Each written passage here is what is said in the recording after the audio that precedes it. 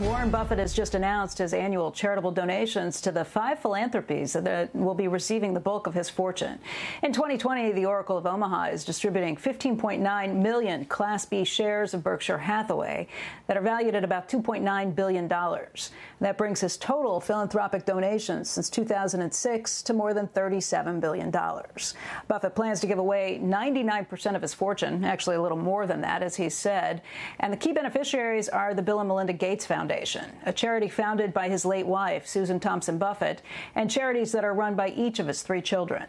After making this donation, Buffett is still going to hold 248,734 Class A shares of Berkshire, which are valued at about $67.5 billion right now.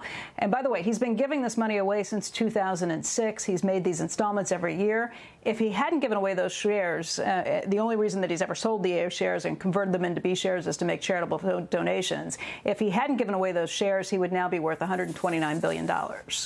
Buffett has been accused of making charitable donations in, in, the past in order to accrue beneficial tax status. Well, this year he revealed the extent of his tax benefit for his philanthropic activities.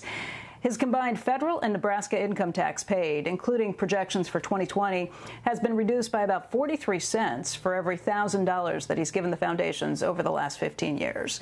Um, guys, there's always big questions about this, and particularly now, I think, because politicians are looking at this as a way to really make sure that they go after the richest, the billionaires, and tax their money even more heavily. Um, but I do think, kind of looking at the tax benefits um, that Buffett got in this, they were quite a bit smaller than a lot of people people had anticipated.